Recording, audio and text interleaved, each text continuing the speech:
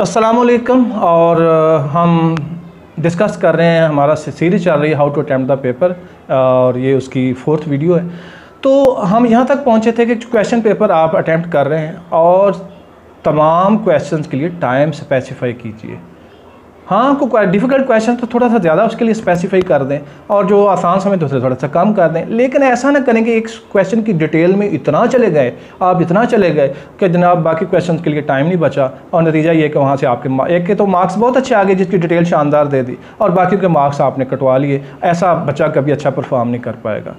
दूसरी बात इस सिलसिले में अर्ज़ करनी है, वो ये है कि जनाब आप अपनी चीज़ों को बहुत अच्छे तरीके से प्लान कीजिए। पेपर प्लानिंग का भी नाम है। पेपर जहाँ आपकी मेमोरी का टेस्ट है, आपके स्टेमिना का टेस्ट है, वहाँ आपकी प्लानिंग का भी टेस्ट है कि आप कितनी खूबसूरत प्लानिंग से पेपर को टैकल करते हैं। With average knowledge you can do the best and with the best knowledge you can do as an average one ये डिपेंड करता है कि आप उसको टैकल कैसे करते हैं। तो आपकी टैकल जो करने का पेपर टैकल करने का जो है, साबता, वो बहुत शानदार होना चाहिए। हर सवाल करने के बाद घड़ी को ज़रूर देखें। वैसे तो एग्जामिनेशन हॉल में क्लॉक होता है, ना हो तो अपनी घड़ी लेके जाएँ। देखें जी, मैंने एक सवाल कर लिया, इतना टाइम हो गया, दो सवाल कर लिए, इतना टाइम हो गया, तीन सवाल कर लिए, इतना टाइम हो गया, चार सवाल कर लिए, इतना टाइम हो गया। फिर जो जो एग्जामिनर ने पूछा है, वो ज़रूर लिखें। हम आम तौर पर वो कुछ लिख रहे होते हैं, जो हम रटा लगा के आए होते हैं, जो हमें याद होता है, जो वो हमसे पूछ रहा है, वो नहीं लिख रहे होते।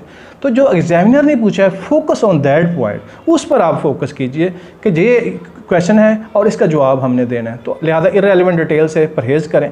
फिर उसके बाद एक अहम बात ये होती है कि बाद बच्चे जो है ना एक्स्ट्राज के चक्कर में होते हैं कि जनाब मैंने एक्स्ट्रा सवाल करके ज़रूर कर लें, लेकिन आप अपने ओरिजिनल क्वेश्चन का टाइम जो है बचा कर या टाइम उनका कम करके एक्स्ट्राज को मत करने जाएँ। क्योंकि पहले मैं, हम आपसे पहले अर्ज़ कर रहे हैं कि पहले अपना द बेस्ट दें। जो बेहतरीन क्वेश्चन आते हैं, वो पहले नंबरों पे कीजिए तो आपके बेस्ट बेस्ट मार्क्स जो वो आएँगे।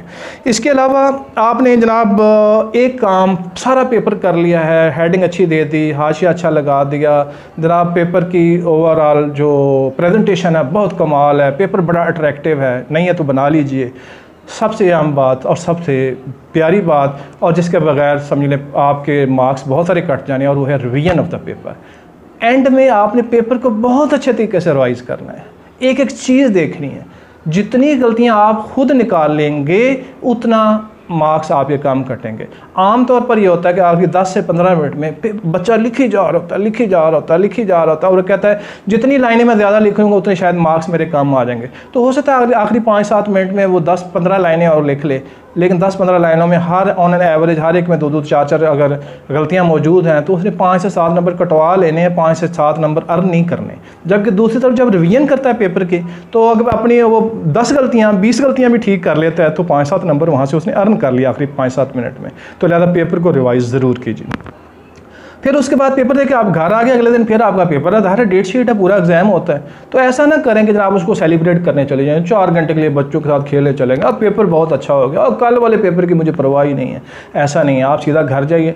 घर जाके आप एक घंटे के लिए खाना पीना खा के सो जाइए रेस्ट कीजिए और उठ के अगले पेपर में लग जाइए। एक दफ़ा घर वालों के या बड़ों को जो आपकी प्रेजेंटेशन है इस पेपर की, वो दे दें जी, ये ये ऐसे कर दिया, ये ऐसे कर दिया, ये ऐसे कर दिया। ठीक, घंटे बाद आपको इस पेपर को याद ही नहीं करना। बच्चे वरना इसी को डिस्कस करते रहते हैं, वालदेन इसी को डिस्कस करते हैं ऐसे, इसको तो याद ही नहीं करना। अगले पेपर की तैयारी की तरफ़ चले जाए what has been done so far is done now जो कुछ हो चुका, सो हो चुका। अगले पेपर की तरफ़ चले जाएँ और भरपूर तरीके से उसको भी उसी तरह ही करें, जिस तरह पिछले पेपर की आपने तैयारी की है। डिस्कशन जो है वो छोड़ दें और अगले पेपर की तैयारी के लिए भरपूर प्लानिंग करें। हाँ आप देखें कि पहले पेपर में जो गलतियाँ रह गई हैं या जो एरियाज़ ऐसे थे वो डिस्क तो जो उधर नहीं गई तो इस पेपर में वो भी कमी पूरी कर लीजिए।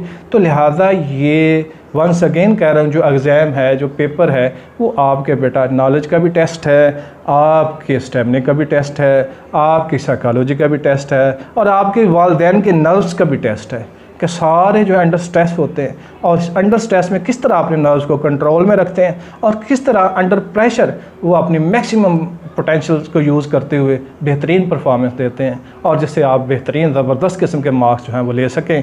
और आ, मेरी नेक तमन्नाएँ आपके साथ हैं। ये वो टिप्स थे जो आपके साथ शेयर करने थे। मज़ीद एजुकेशनल वीडियोज़ के साथ हाज़िर होंगे। अल्लाह हाफिज़।